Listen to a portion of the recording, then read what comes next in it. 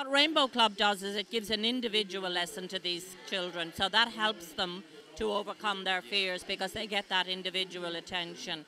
So that works out to be quite expensive. You can imagine most parents couldn't afford that. So through club grants, we're able to keep giving that individual lesson. Yeah, Mounties are fabulous supporters of Rainbow Club.